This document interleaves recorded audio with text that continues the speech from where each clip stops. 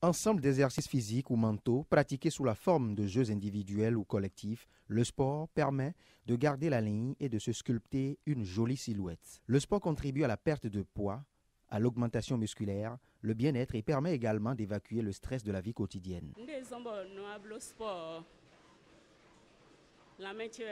J'ai opté pour le sport en salle. J'avais certains ennuis de santé et au cours du traitement, il m'a été recommandé de faire du sport pour lutter efficacement contre le surpoids. Et depuis que j'ai commencé le sport en salle, je me sens de mieux en mieux.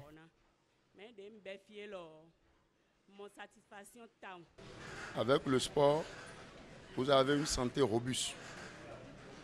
Vous avez un équilibre mental, physique et donc, euh, vous vivez bien, vous êtes en bonne santé, vous êtes un homme debout.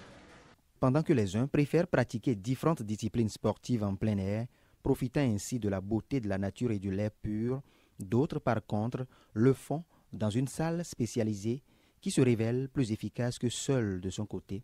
Les raisons qui motivent ce choix sont multiples. L'accès à une kyrielle de machines, la variété des exercices, la disponibilité de guides ou coachs sportifs, limiterait donc la lassitude, l'ennui, la routine et la pollution.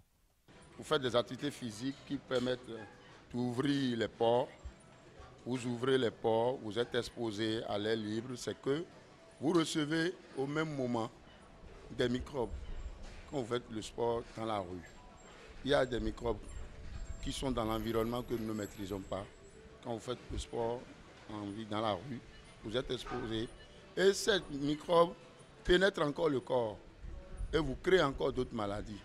C'est pourquoi nous, nous, nous optons pour le sport en salle.